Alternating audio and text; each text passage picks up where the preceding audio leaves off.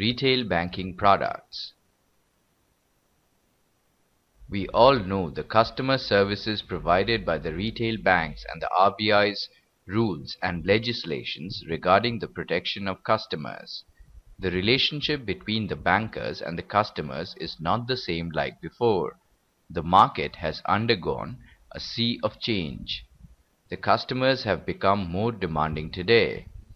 In this lesson, we will explain the various types of deposits, the opening and closing of accounts and other related factors, define the meaning of loans and advances, types of loans and advances, define the need of money products of banks in present-day environment, and explain the types and characteristics of money products. After going through this presentation, you should be able to explain deposit account, current account and term deposits, recurring deposit, loans and advances, financial inclusion, priority sector and securitization of retail loans, types of money products, characteristics of money products and concept of product management. A deposit account is a current account, savings account or other type of bank account at a banking institution that allows money to be deposited and withdrawn by the account holder. A saving fund account may be opened by a properly introduced individual singly or jointly, minors of the age of 10 years and above and minors under natural or legal guardianship any government department or body or agency in respect of grants or subsidies released for implementation of schemes sponsored by central government subject to production of an authorization from respective government departments to open savings fund account. X for example, District Rural Development Agency, Member of Parliament Local Area Development Scheme, Khadi and Village Industries Board, Agriculture Produce Market Committee. The minimum balance to be maintained in the account may differ from one bank to the other since this area has been deregulated by the apex monetary body, the Reserve Bank of India. The interest is calculated on the minimum balance from the 10th to the last day of the month. An account may be transferred from one branch to another branch of the bank, generally free of charge on written request of the depositor. In case the account is closed within a year, except on the account of death of the account holder, banks levy certain charges as per their internal guidelines. When an account is opened in the name of two or more persons, all of them must sign the account opening form and affix their photograph. The account will be operated in accordance with the instructions contained therein. A current account may be opened by individuals, singly or jointly, partnership firm, company, association, institution, trust, society, etc. According to the Indian Banks Association Model Deposit Policy, an illiterate or blind person cannot open a current account. Minor in their own name can also not open a current account as per the current practice of the banks. It is a running account in which customers are free to make any number of transactions, subject to maintenance of minimum balance in the account. The target group of current account is one of business segment. Term deposits refer to such deposits which are placed with the bank for a definite time period, although the customers are free to withdraw their deposit as per their requirements. Banks may accept term deposits for a minimum period of seven days one year in case of NRE deposits, and maximum for a period of 10 years. Banks may accept deposit for periods exceeding 10 years in the event of any orders from the competent court of law. Banks may offer differential interest rates on wholesale domestic term deposits of rupees 15 lakhs and above. For deposits below rupees 15 lakhs, banks should offer uniform rates for the same maturity. Banks should not discriminate in matter of interest paid on deposit except for resident senior citizens and other segments as and when notified by the government. The recurring deposit account is an account in the bank where an investor deposits a fixed amount of money every month for a fixed tenure. Any individual, singly or jointly or a minor of 10 years and above in his own name otherwise under guardianship, HUF, a firm, a club, association, educational institution, municipality, panchayat, society, trust, etc. can open the account. As per the practices followed by the banks, by and large, it can be opened for an installment of rupees 100 or more or in multiples thereof for a period ranging from 6 months to 120 months in multiples of 3 months.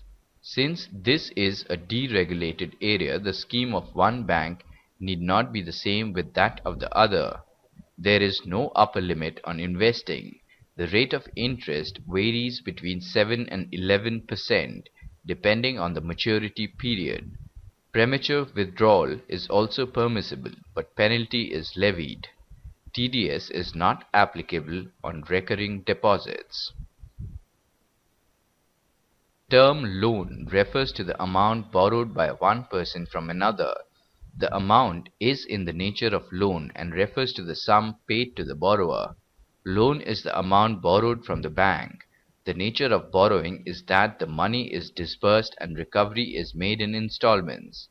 A demand loan is a loan which is repayable on demand by the bank. In other words, it is repayable at short notice. Medium and long-term loans are called term loans. Term loans are granted for more than a year and a repayment of such loan is spread over a longer period. Cash credit is a flexible system of lending under which the borrower has the option to withdraw the funds as and when required and to the extent of his needs. Under this arrangement, the banker specifies a limit of the loan for the customer known as the cash credit limit, up to which the customer is allowed to draw. Overdraft facility is more or less similar to cash credit facility. Overdraft facility is the result of an agreement with the bank by which a current account holder is allowed to draw over and above the credit balance in his or her account. Overdraft facility is generally granted by a bank on the basis of a written request by the customer. Apart from sanctioning loans and advances, discounting of bills of exchange by bank is another way of making funds available to the customers. Bills of exchange are negotiable instruments which enable debtors to discharge their obligation to the creditors. Such bills of exchange arise out of commercial transactions, both inland trade and foreign trade. Cashing or trading a bill of exchange at less than its par value and before its maturity date. The cash thus realized varies according to the number of days until maturity and the risk involved. Financial inclusion has been a focus of attention in recent times. However, the facts reveal the real and somewhat uncomfortable picture. The increase in the number of branches has not answered the needs of the farmers, and reaching the unbanked population to enable inclusive growth is a serious problem today. Branchless banking could be the big step towards providing easy financial access to the poor people and achieving financial inclusion.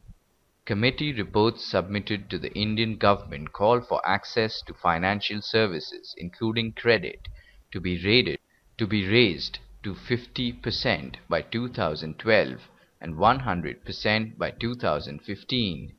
Such a mammoth task at hand can only be achieved by an earnest technology inclusion which can be achieved through branchless banking. Branchless banking is the concept of providing banking services outside the conventional bank branches by either using information and communication technology services or third-party organizations. Achieving total financial inclusion is a concern of most countries, yet it is very geographical in nature as it largely depends on a country's financial policy and its financial industry regulations. The financial world has witnessed several branchless banking pilot projects trying to examine the various business models that could be used to ensure the most proper implementation and sustenance of branchless banking systems. The business correspondent model allows the bank to use third-party financial institutions to handle account opening, transaction management and other financial services. Regulations from the Reserve Bank of India emphasize that transactions should be visible in the bank's books within 24 hours. The use of mobile devices for payment and banking services can be the best suited model for branchless banking in India. Accordingly, the broad categories of priority sector for all scheduled commercial banks as per draft guidelines of RBI January 2007 on lending to priority sector as under. Direct finance to agriculture shall include short, medium and long-term loans given for agriculture and allied activities directly to individual farmers, self-help groups, SHGs, or joint liability groups JLGs of individual farmers without limit and to others such as corporates, partnership firms and institutions up to rupees 20 lakhs for taking up agriculture or allied activities. Indirect finance to agriculture shall include loans given for agriculture and allied activities. Direct finance to small enterprises shall include all loans given to small manufacturing enterprises engaged in manufacture or production, processing or preservation of goods, and small service enterprises engaged in providing or rendering of services. Other small business or service enterprises shall include small business, retail trade, professional and self-employed persons, small road and water transport operators and all other service enterprises as per the definition given in section 1 appended. Indirect finance to SSI includes financing of agencies involved in assisting the decentralized sector in the supply of inputs and marketing of outputs of artisans, village and cottage industries, provision of credit and other financial services and products of very small amounts not exceeding rupees 50,000 per borrower to the poor either directly or indirectly through a SHG or JLG mechanism or any intermediary. Education loans include loans and advances granted to only individuals for educational purposes up to rupees 10 lakhs for studies in India and rupees 20 lakh for studies abroad and do not include those granted to institutions. Securitization in India is new in origin but has seen deals that exhibit both diversity as well as market maturity. The Law Securitization, Asset Reconstruction and Enforcement of Security Interest Act emerged in 2003, though the law deals with enforcement of security interest as its focal point and has not been used at all for securitizing transactions. There are several types of money products provided by retail bank for convenience of the customer. These are a credit card is a small plastic card issued to users as a system of payment. It allows its holder to buy goods and services based on the holder's promise to pay for these goods and services. A debit card is a plastic card that provides an alternative payment method to cash when making purchases. It can be called an electronic check as the funds are withdrawn directly from either the bank account or from the remaining balance on the card. Check card is a card issued by a bank or building society which guarantees the payment of a check to the recipient and which supports a check for obtaining cash, both up to a stated value. It can also typically be used to withdraw money from an ATM.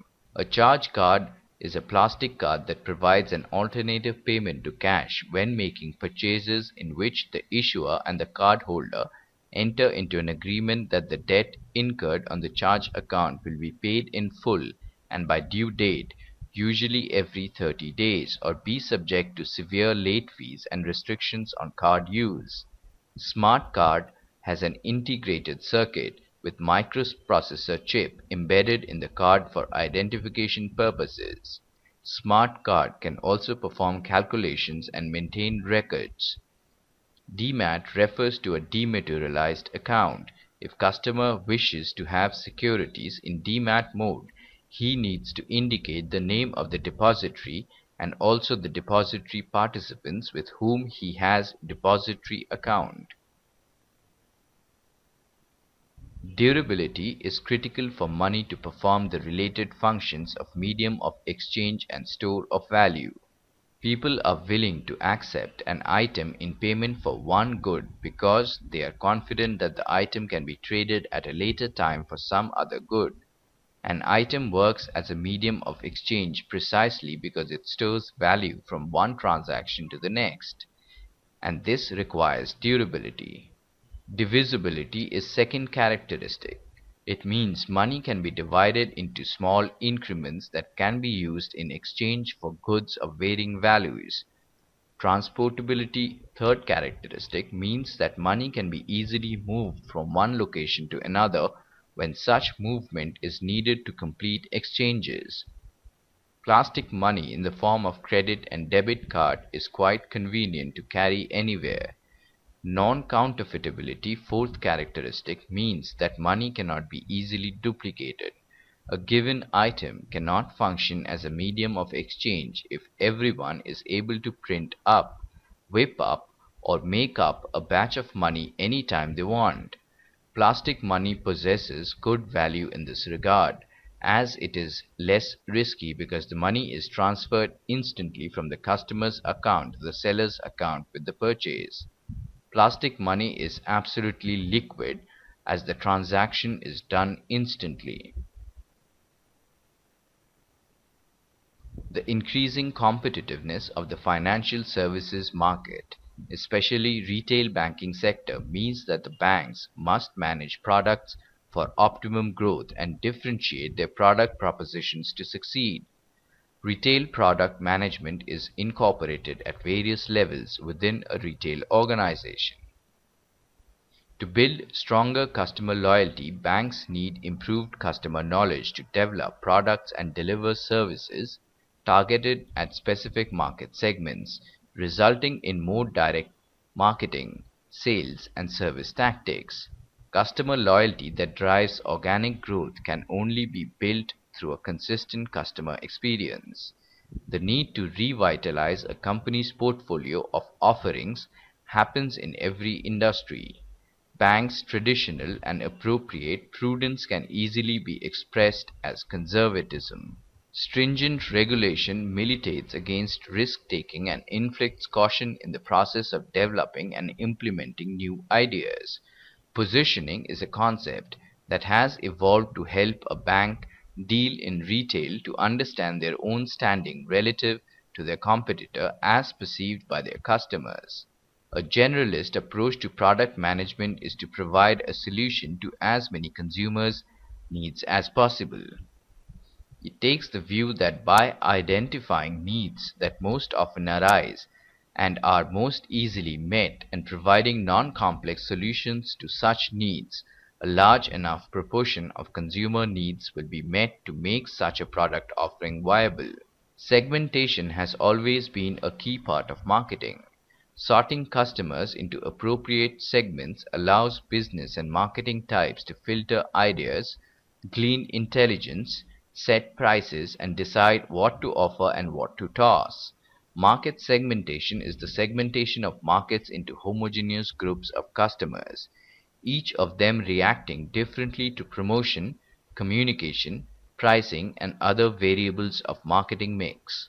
Customer segmentation is the subdivision of a market into discrete customer groups that share similar characteristics. Feedback of the customer is also very significant for the product management of the retail banks. For the purpose of retail banks getting direct customer feedback is good and using it to drive product requirements and feature enhancements will certainly raise the business of the bank. Brand in simple terms is an accumulation of emotional and functional associations. Brand is a promise that the product will perform as per customers' expectations. Promotions and schemes have become a vital tool for the retail bankers and its importance has been increasingly significant over the years.